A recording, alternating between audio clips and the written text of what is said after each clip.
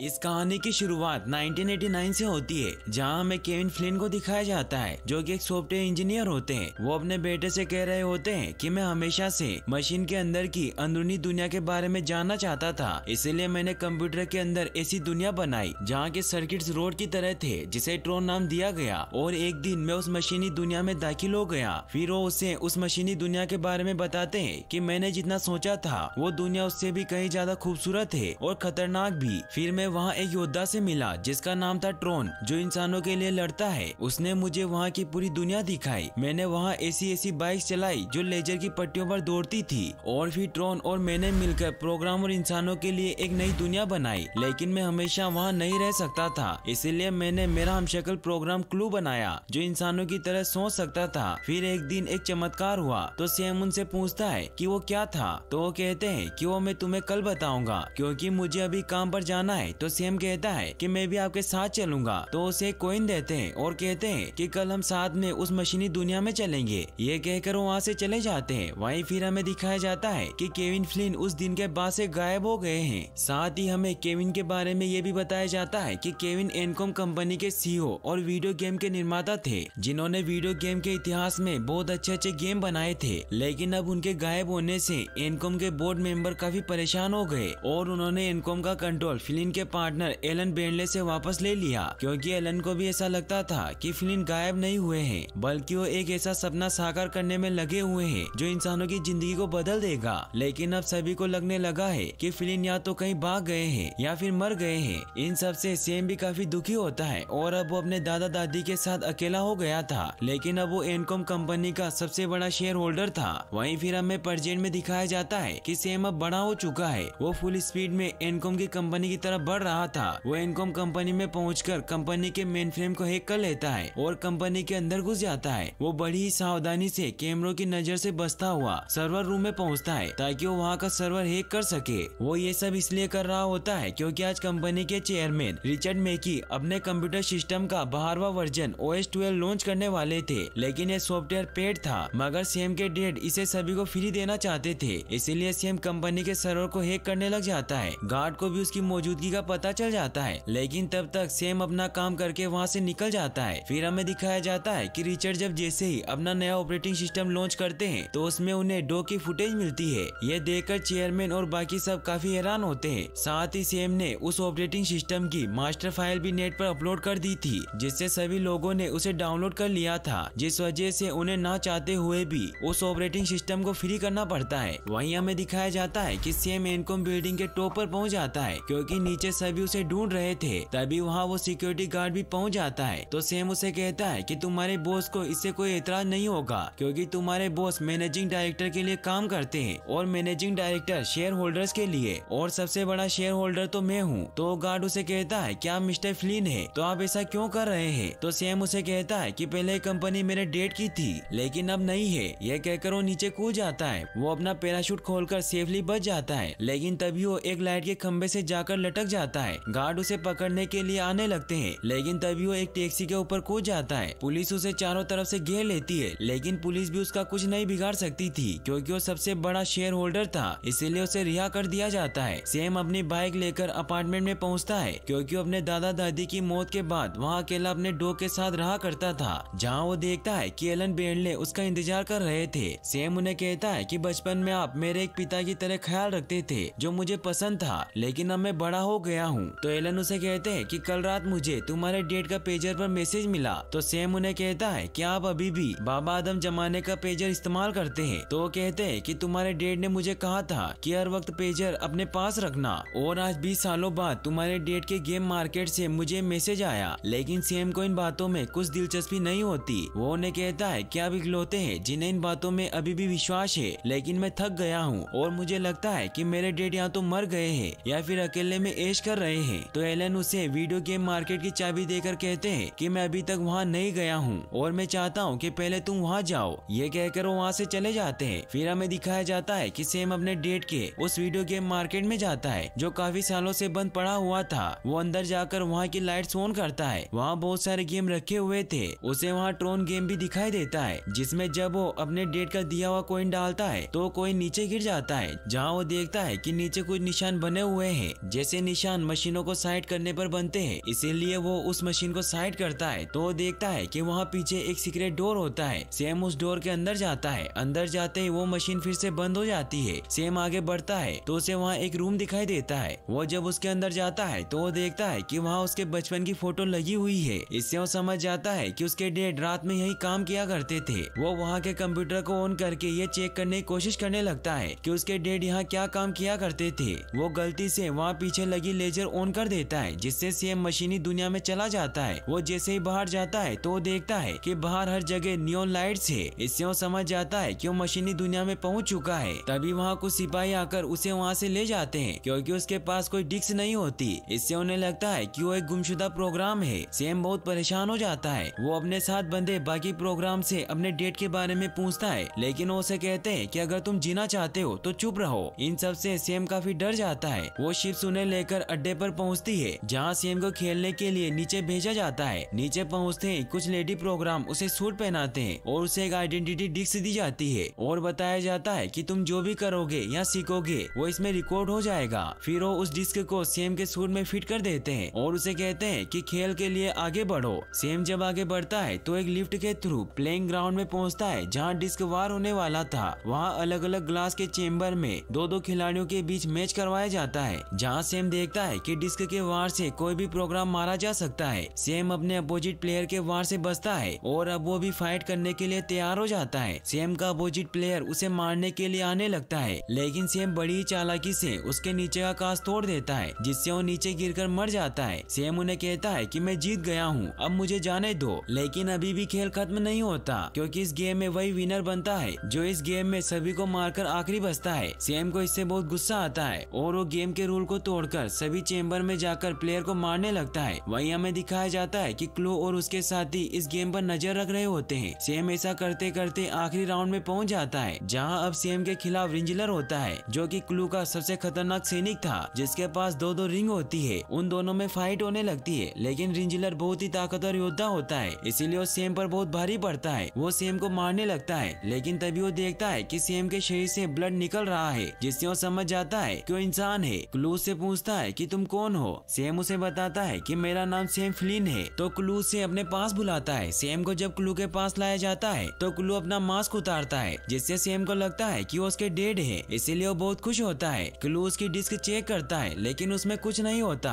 Same उन्हें कहता है की आप यहाँ फंसे हुए थे और हम घर लौट सकते हैं। तो क्लू ने कहता है की मैं तुम्हारा डेड नहीं हूँ। इससे सेम भी समझ जाता है की वो क्लू है। फिर सेम को पकड़कर मैच के लिए ग्राउंड पर लेकर जाया जाता है, जहाँ क्लू सेम से लड़ने के लिए एक मैच रखता है, ताकि उसे गेम में मार सके। सेम उसे कहता है कि अगर तुम मेरे साथ खेलना चाहते हो तो मैं ज़रूर खेलूँगा। फिर उन दोनों को एक एक डिवाइस दिया जाता है। लाइट साइकिल गेम स्टार्ट होता है, जिसमें उन दोनों के पास अपनी अपनी चार लोगों की टीम होती है, जिसमें उन्हें अपने सारे अपोजिट प्लेयर को मारना था। कुल्लू अपनी टीम के साथ वहाँ से निकल जाता है। सेम के साथी उसे कहते हैं कि उनकी बाइक बहुत तेज है, इसीलिए तुम लेजर बाइक का इस्तेमाल करो। सेम उस डिवाइस से बाइक बनाकर गेम के लिए तैयार हो जाता है। कुल्लू के साथी प्लान बनाकर सेम के साथियों को मारने लग जाते हैं। सेम भी कुल्लू के साथियों को मारने लग जाता है, क्योंकि वो बहुत अच्छा बाइकर था। सेम का अब सिर्फ़ एक ही साथी बचा था, इसीलिए सेम अपने साथी के पास जाकर उसे कहता है कि हमें मिलकर लड़ना होगा, क्योंकि उन्हें हराने का सिर्फ़ एक यही तरीका है। तो वो भी उसकी बात मान लेता है, फिर वो दोनों मिलकर कुल्लू के प्लेयर को मारने लगते हैं। लेकिन तभी सेम का साथी नीचे गिर जाता है सेम उसकी मदद करने जाता है, लेकिन तभी कुल्लू से मार डालता है। अब कुल्लू और सेम भी बचे होते हैं। कुल्लू सेम को नीचे गिरा देता है और उसे मारने लगता है, तभी वहाँ एक कार आकर सेम को बचा लेती है, जिसमें एक लेडी प्रोग्राम होती है। वो सेम को बचाकर वहाँ से निकल जाती है। क्लू ने पकड़ने के लिए अपने सिपाहियों को भेजता है, लेकिन वो एक एक करके सभी को मारते जाते हैं, क्योंकि उनकी कार बहुत ही एडवांस थी। वो क्लू के एरिया से बाहर निकल जाते हैं, क्योंकि क्लू के सैनिकों की बाइक को बाहर चलने के लिए डिज़ाइन नहीं किया गया था। वो लेडी प्रोग्राम उसे बताती है कि, मेरा नाम कोरा है। सेम उससे पूछता है कि, हम कहाँ जा रहे हैं? तो कहती है कि, सब्र रखो, तुम्हें जल्दी सब पता चल जाएगा। फिर वो उससे एक सुरंग में लेकर जाती है, जहाँ उन्होंने खुफिया अड्डा बनाया हुआ था। कोरा उसे ऊपर लेकर जाती है, जहाँ सेम के डेट ध्यान कर रहे थे। कोरा केविन के पास जाती है और उन्हें कहती है कि आपसे कोई मिलने आया है। केविन अपने बेटे को देखकर बहुत खुश होते हैं और उसे अपने गले से लगा लेते हैं, क्यूँकी उन्हें यकीन ही नहीं होता की उनका बेटा उनके सामने है।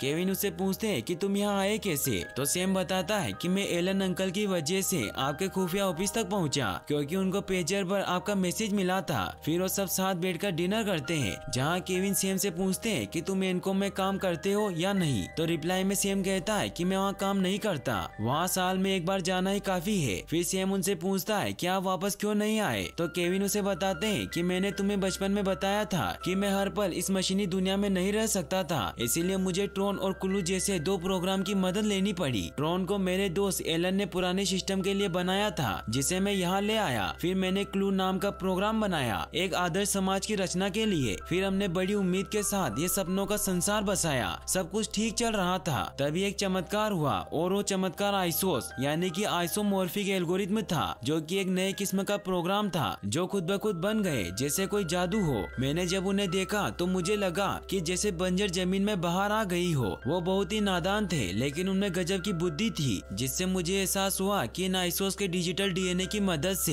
इंसानी दुनिया को भी परफेक्ट बनाया जा सकता है, जिससे इंसानों में ना तो कोई बीमारी होती, ना ही कोई कमी। इससे हमारी पूरी ज़िंदगी बदल जाती। मैं दुनिया को ये सारे आइसोस तोहफे में देने वाला था, लेकिन फिर क्लू मेरे रास्ते का कांटा बन गया, क्योंकि उसे अपना लक्ष्य पूरा करना था। इसलिए उसने एक दिन मुझ पर हमला कर दिया। ट्रोन ने मुझे बचाने के लिए अपनी जान दे दी, और मैं बचकर वहाँ से भाग निकला। क्लू ने सभी आइसोस पर हमला करके उन्हें मार दिया। मैंने बाहर की दुनिया में आने वाले पोर्टल, यानी कि दहलीज तक पहुँचने की कोशिश की, लेकिन मैं वहाँ तक नहीं पहुँच पाया, क्योंकि वो मशीनें और लेजर जिसकी मदद से तुम यहाँ आए हो, वो बिजली की कमी से आठ घंटे बाद बंद हो जाते हैं। इसलिए मैं यहाँ से नहीं निकल पाया। तो सेम उन्हें कहता है कि हमें अभी यहाँ से निकलना चाहिए, क्योंकि दहलीज मेरे आने से खुल चुकी है। तो उसे कहते हैं कि हम ऐसा नहीं कर सकते, क्योंकि ये सब क्लू का बिछाया हुआ जाल है। क्योंकि मैंने तुम्हें कोई मैसेज नहीं भेजा, वो क्लू ने भेजा था, ताकि हम दोनों दहलीज पर जाएँ और वो मेरी डिस्क किसी भी तरीके से हासिल कर ले, क्योंकि इसी डिस्क से यहाँ से बाहर निकला जा सकता है। और अगर क्लू के हाथ ये डिस्क लग गई तो वो भी बाहर निकल सकता है, जिससे वो पूरी दुनिया तबाह कर देगा, क्योंकि वो कभी भी गलतियाँ माफ़ नहीं करता।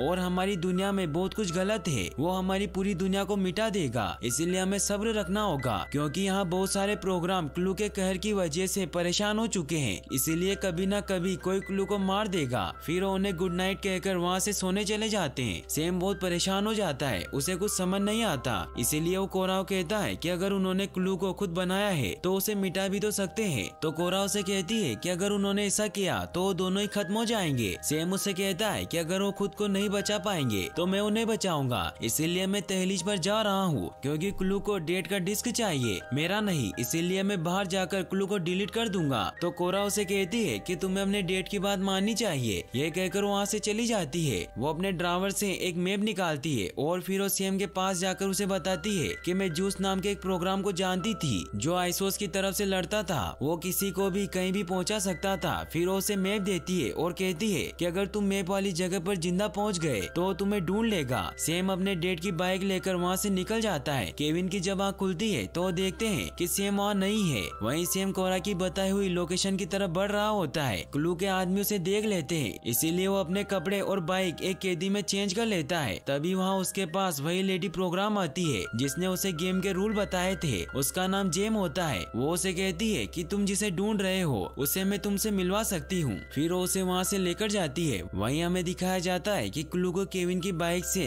केविन की लोकेशन का पता चल जाता है। इसीलिए अपने साथियों के साथ वहाँ जाने के लिए निकल जाता है। वहीं केविन कोराव कहते हैं कि हमें शहर की तरफ़ जाना है, इसीलिए लाइट रनर तैयार करो, क्योंकि मैं अपने बेटे को दोबारा खोना नहीं चाहता। वहीं हमें दिखाया जाता है कि जेम सेम को बार में लेकर जाती है, जहाँ वो उसे केस्टर से मिलवाती है, और उसे कहती है कि अगर तुम जूस से मिलना चाहते हो तो केस्टर ही तुम्हें उससे मिलवा सकता है। वहीं हमें दिखाया जाता है कि क्लू अपने साथियों को लेकर केविन के ठिकाने पर पहुँच जाता है, लेकिन वहाँ कोई नहीं होता, क्योंकि केविन कोरा के साथ वहाँ से निकल गए थे। वहीं सेम केस्टर के पास जाता है और उसे कहता है कि मुझे जूस से मिलना है। तो केस्टर उसे अपने खास ठिकाने पर लेकर जाता है, जहाँ उसे बताता है कि मैं ही जूस हूँ, क्योंकि आइसोस के कत्ल होने के बाद मैंने खुद को बचाने के लिए अपना हुलिया बदल लिया था। तो सेम उसे कहता है कि मुझे तेलिस तक पहुँचना है। तो जूस उसे कहता है कि वहाँ पहुँचना बहुत मुश्किल है, क्योंकि वो यंत्र जाल की सरहदों से बहुत दूर है, क्योंकि तुम्हारे पिता नहीं चाहते थे कि कोई प्रोग्राम यहाँ से भाग जाए। तो सेम उसे कहता है कि क्या तुम मेरी वहाँ पहुँचने में मदद कर सकते हो? तो वो कहता है कि मैं तुम्हारी मदद ज़रूर करूँगा, लेकिन उसके बदले में तुम्हें, मुझे ये बताना होगा कि तुम्हें यहाँ किसने भेजा है। तो सेम उसे बता देता है कि मुझे यहाँ कोरा ने भेजा है। तभी हमें दिखाया जाता है कि क्लू के सैनिक वहाँ आकर हमला करने लग जाते हैं। वो वहाँ के सभी लोगों को मारने लगते हैं, क्योंकि ये सब जूस की चाल चाल थी तो सेम उसे कहता है कि तुमने ऐसा क्यों किया? तो कहता है कि अब खेल बदल चुका है। तभी वहाँ कोरा भी आ जाती है और वो सेम को बचाने के लिए सैनिकों से लड़ने लगती है। लेकिन वो सैनिक काफ़ी ताकतवर होते हैं। वो कोरा का एक हाथ तोड़ देते हैं। तभी वहाँ केविन आ जाते हैं। वो अपनी पावर से वहाँ सब कुछ ब्लिंक करने लगते हैं। वो सेम और कोरा को बचाकर वहाँ से जाने लगते हैं। लेकिन तभी कुल्लू का सैनिक केविन की डिस्क चुरा लेता है। केविन कुछ नहीं कर पाते और वहाँ से निकल जाते हैं। सेम उन्हें कहता है कि मैं वापस जाकर आपकी डिस्क ला सकता हूँ। तो केविन को बहुत गुस्सा आने लग जाता है, लेकिन वो खुद को शांत करते हैं। तभी वो देखते हैं कि वहाँ से एक मालगाड़ी निकलने वाली है, जो तहलीज की तरफ़ जा रही थी। इसीलिए वो सेम को कहते हैं कि हमें पूरी ताकत से तहलीज की तरफ़ जाना होगा। फिर वो तीनों वहाँ छिपके से उस मालगाड़ी के ऊपर चढ़ जाते हैं। वो मालगाड़ी वहाँ से रवाना हो जाती है। केविन कोरा को ठीक करने की कोशिश करते हैं, लेकिन उसकी बनावट बहुत ही कॉम्प्लेक्स होती है। तो सेम उन्हें कहता है कि आपने ही तो इसे बनाया है। तो वो उसे कहते हैं कि आखिरी बची हुई आइसो है। इससे सेम समझ जाता है कि वो इतने समय से इसे यहाँ बचा रहे थे। तो केविन उसे कहते हैं कि एक चमत्कार है, जिस पर मैं इतने सालों से काम करता रहा, क्योंकि असली दुनिया में बहुत बदलाव ला सकती है। फिर वो कोरा के उस खराब कोड को भी ठीक कर देते हैं, जिससे कोरा का हाथ फिर से ठीक हो जाता है। केविन उसे बताते हैं कि कुछ ही समय में इसका सिस्टम फिर से ठीक हो जाएगा। फिर वो उसे बातें करने के लिए लेकर जाते हैं, जहाँ वो उससे अपने मोम डेट के बारे में पूछते हैं। तो सेम उन्हें बताता है कि जब मैं बारह साल का था तो दादाजी गुजर गए और उसके पाँच साल बाद दादी माँ गुजर गई थी। उसके डेट बहुत सेड हो जाते हैं। तो सेम उन्हें कहता है कि मैं आपकी पुरानी बाइक सही कर रहा हूँ और हम दोनों मिलकर उसे साथ में चलाएँगे। फिर वो सेम को कहते हैं कि मैं थोड़ी देर ध्यान करने जा रहा हूँ। तब तक तुम कोरा के साथ रहो। वहीं हमें दिखाया जाता है कि क्लू जूस के टावर पर पहुँचता है, जहाँ जूस क्लू के सामने एक डील रखता है कि मैं इस सिटी पर राज करना चाहता हूँ। उसके बदले में तुम्हें ये डिस्क दे दूँगा। तो क्लू से धोखा देकर उससे डिस्क ले लेता है। फिर वो वहाँ से निकलते टाइम पूरे टावर को उड़ा देता है, जिससे जूस और जेम दोनों ही मारे जाते हैं। वहीं कोरा की जब आँख खुलती है तो उसे कहती है कि मुझसे बहुत बड़ी गलती हो गई। मुझे तुम्हें जूस के पास नहीं भेजना चाहिए था। तो सेम उसे कहता है कि कोई बात नहीं, गलतियाँ तो सबसे होती है। फिर सेम उसे पूछता है कि तुमने मेरे डेट को कैसे ढूंढा? तो वो बताती है कि जब क्लू आइसोस का कत्लेआम करवा रहा था, तब क्लू के सैनिकों ने मुझे भी निशाना बनाया, मगर मैं वहाँ से भाग निकली। लेकिन जल्दी उन्होंने मुझे ढूंढ लिया, वो मुझे मारने वाले थे, लेकिन फिर तुम्हारे पिता ने मुझे बचा लिया और मुझे अपने घर में नई ज़िंदगी दी। तभी केविन वहाँ देखते हैं कि ट्रेन ने अपनी लोकेशन बदल दी है तो वो सभी नीचे चले जाते हैं, जहाँ वो देखते हैं कि उस पूरी ट्रेन में नए प्रोग्राम रखे हुए हैं। तो केविन उन्हें कहते हैं की क्लू नए प्रोग्राम नहीं बना सकता, वो सिर्फ़ उन्हें मिटा सकता है या बदल सकता है। तभी वो वहाँ देखते हैं कि क्लू बहुत सारे प्रोग्राम को सैनिकों में बदल रहा था। ये देखकर वो वहाँ से निकलते हैं। तभी वो देखते हैं कि रिंजलर उन्हें ढूँढने आ रहा है। केविन उसे देखकर समझ जाते हैं कि वो ट्रोन है, जिसे क्लू ने ऐसा बना दिया है। कोरा जब ये देखती है तो केविन और सेम को बचाने के लिए अपनी डिस्क केविन को देकर रिंजलर के सामने आ जाती है, जिससे रिंजलर का ध्यान केविन और सेम पर नहीं जाता। रिंजलर कोरा को पकड़ लेता है सेम उसे बचाने जाने लगता है, लेकिन केविन उसे कहते हैं कि हम उसे बचाने का दूसरा तरीका ढूंढ लेंगे। वही हमें दिखाया जाता है कि क्लू केविन की डिस्क को अपनी मशीन में लगा देता है, फिर वो अपने सभी सैनिकों को इकट्ठा करता है, और वो उन सभी को कहता है कि हमारा मसीहा केविन फ्लिन जिसने हमें बनाया वो मक्कार था। उसने हमेशा हमारा इस्तेमाल अपने स्वार्थ के लिए किया।